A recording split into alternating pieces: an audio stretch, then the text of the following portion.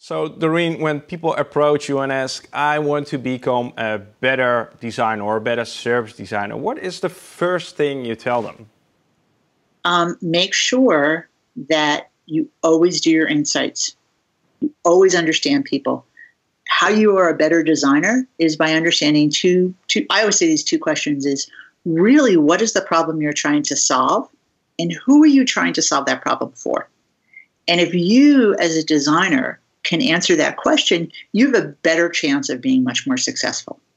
And if you want to be better at what you do, you have to, you have to do that.